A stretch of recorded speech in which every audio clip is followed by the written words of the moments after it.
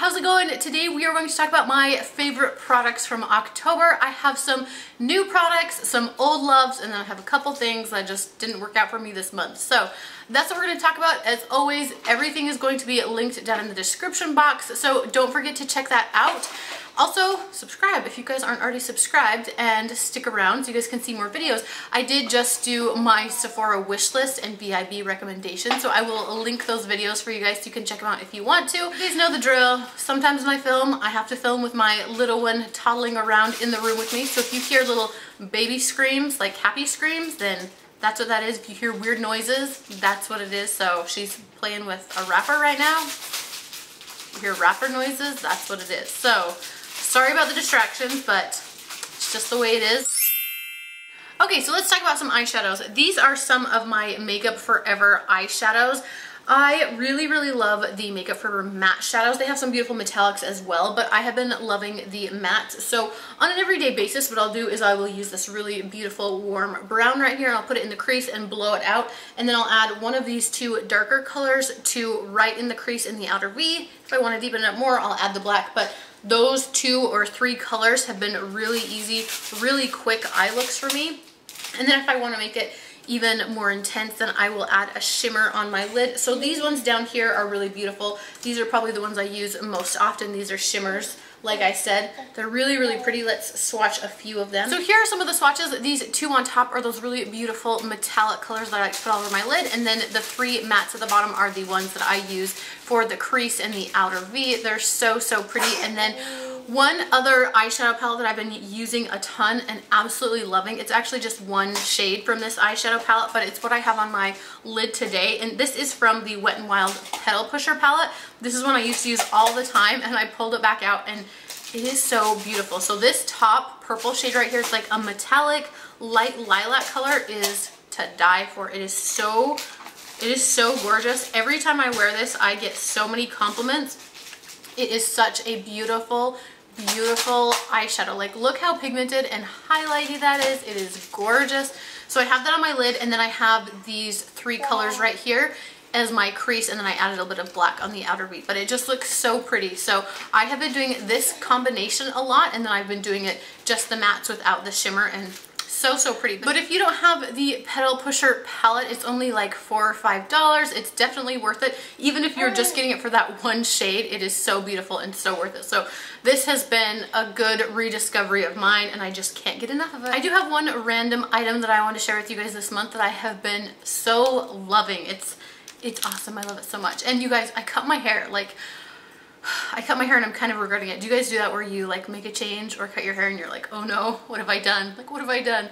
That's kind of how I feel. It's it's not that short, but I probably cut like four or five inches off and I feel like now I don't know what to do with it anymore and I try to do the things I used to and it just looks weird and kind of a mess. And then plus I have these baby hairs. Like you guys know like postpartum hair loss is no joke. So my baby's almost a year old. And after all of my babies I've had like crazy hair loss. And then when it comes back when it starts growing back you have all these like super short little things that won't go anywhere. And they're like all over my whole head.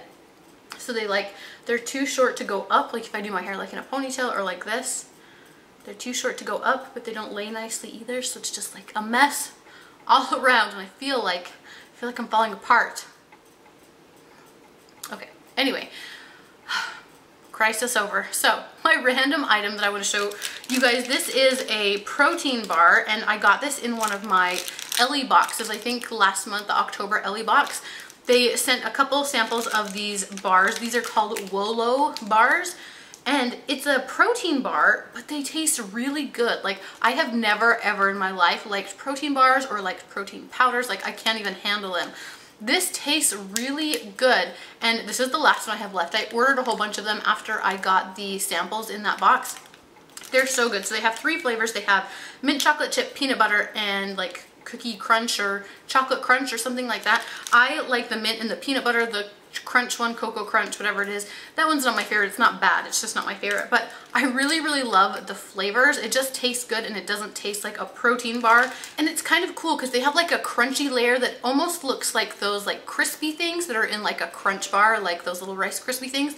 It looks almost like that. And then there's a top layer of this like nougaty kind of textured stuff. And then there's like chocolate chips sprinkled on the top, like little mini ones. And so it's really like a different looking bar also. It's just an all around a good little bar. It's really nice for me to put like in my purse or in my car because when I have days where I'm just like running around and doing a lot of things, I don't eat or I get to the point where I just wait too long to eat and then I like want to eat like fast food or something really unhealthy for me. And so having these with me like in case of like an emergency is really, really awesome and it's really saved me a lot of times from eating something that I'm going to regret. So I really do like them. I think they're awesome. Like I said, this is my last one. I need to order more, but guys they're really good they're really good so they do have on their website you can buy i think you can buy like two bars and then it will ship free so that you can like test them out and see if you like them so i will link that down below i'm not affiliated they don't know who i am or anything like that but i just really really like them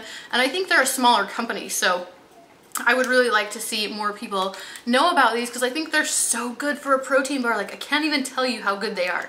So good. So if you guys are interested, go check out that little like sample set. Okay, let's skip around to a couple of face products. So a primer I've really been liking is this one from La Roche-Posay. I think I heard that Taylor talk about this a long, long time ago and then it went on sale for like half price at Ulta and so I grabbed it and I've had this for several months and I just never used it but I've been using it and I really, really enjoy it. You guys know how much I love to use like a dewy or glowy foundation even though I have oily skin. And so if I put this underneath it, this helps keep me more matte but still get that look of dewiness and glowiness from the foundation. So I really, really like that. I think this would be perfect during the summertime or anytime if you guys have oily skin, but especially for me during the summertime with all of my foundations in the wintertime, it just works so, so well with these those glowy foundations. So I love it. It really does help to mattify.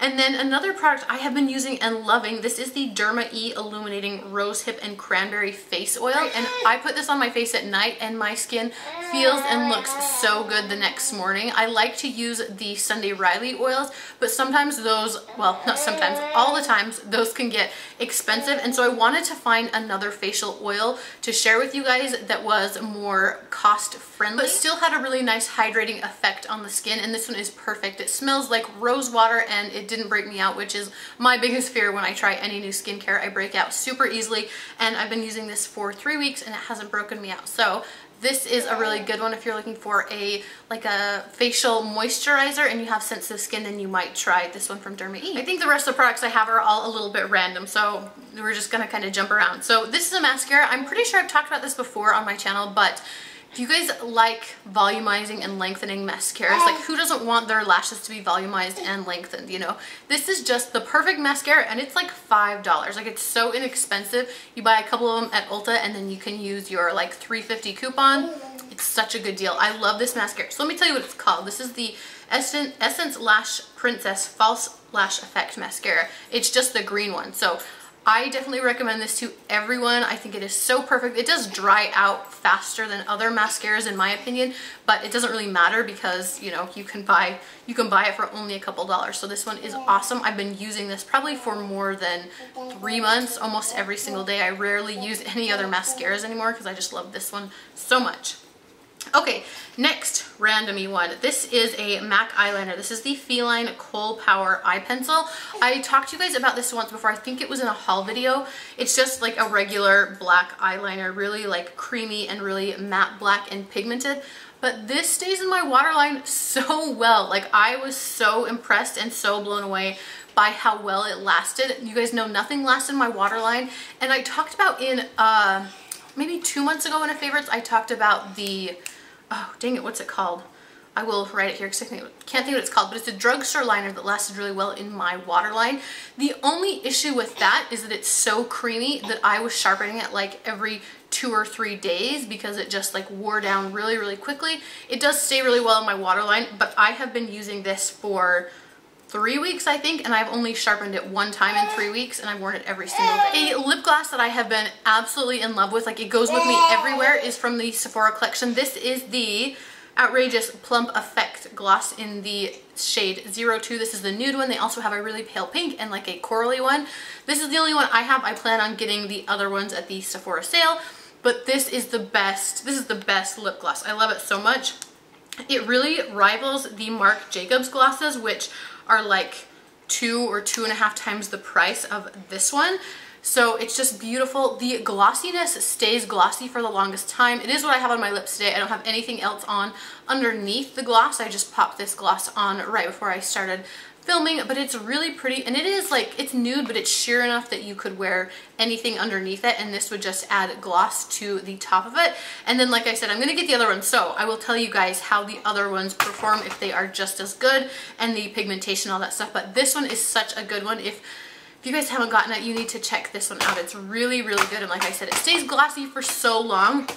And it has just like a slight, the slightest amount of like tingliness to your lips. Not enough that it even like feels uncomfortable or anything. Just enough that it feels like that like peppermint um, mintiness to your lips. You know what I mean? So this one is so good love it. Then very last before we get into products that didn't work out for me this month, this is a highlighter from Lancome. This was actually sent to me from Lancome and Octoly. This is the dual finish highlighter in the shade 01 Shimmering Buff. Look how pretty that is. This is the highlighter I have on my cheeks today. If you guys can see that highlight, it is just so pretty. The thing that's really awesome about this one is that you can put it on dry and it gives a nice highlight but it's not crazy intense or you can wet it and add some intensity to it. So look how pretty that is. It's a really nice color for me right now where when I'm more fair.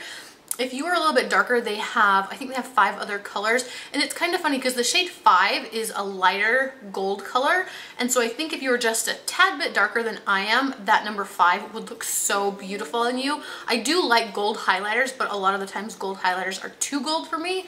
So that one's a little bit too gold for me right now. Maybe in the summer it would work, but this one is so pretty. It's like a little bit lighter than a champagne color and it'll just give you like a glow from within highlight or a more intense highlight. So I love it. It looks so pretty. So Moving on to a couple of products that I was not crazy about this month. The first one is from Flower Beauty. This is the Seal the Deal Long, Long Lasting Matte Setting Spray.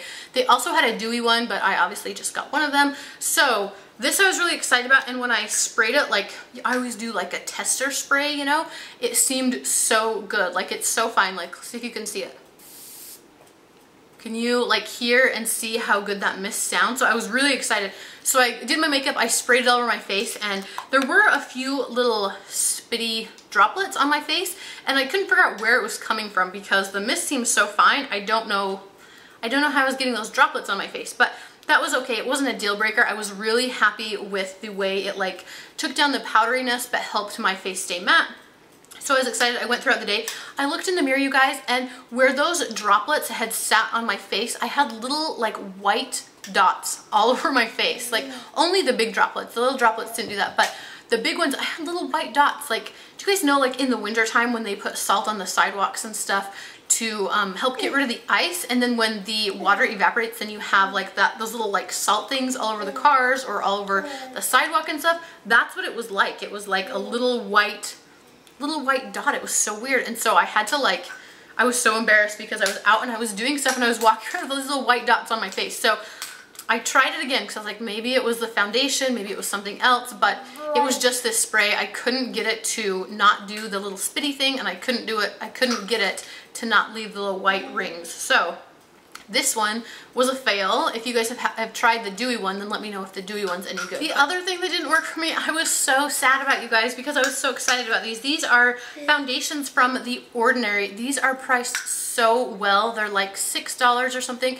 Really inexpensive, really good shade range with really good, um, like they really name them well to tell you what undertone it is, so I love that. When I applied them to my skin, it just didn't look right on me, so for a lot of people, these might be great foundations, but for me, it looked a little bit cakey, even when I used just a small amount of product, and I tried extra hard to make it look light, it just looked cakey and I think part of the problem was that it sunk into my pores and fine lines even when I was using a pore filling primer. So they were just misses for me, which is so sad because I feel like for a lot of people they're going to be good and it's a great shade range and a great price. So I was really disappointed. So those were the products that really stood out to me the most in October. Of course, there were other ones that I used and were kind of like mediocre, but those ones were the ones that I loved the most or that didn't work out for me. So there you have it. So I hope you guys enjoyed the video. I hope was helpful.